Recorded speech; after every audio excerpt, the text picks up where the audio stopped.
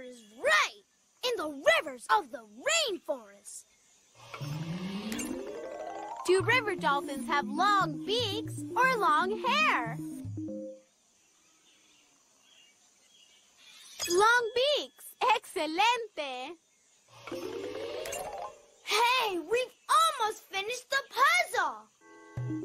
Do river dolphins like to eat crabs or fruit?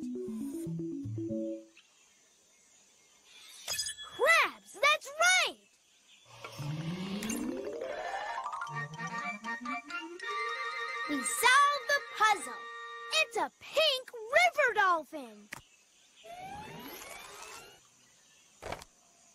Let's put the picture of the river dolphin in our animal science book with all the other rainforest animals.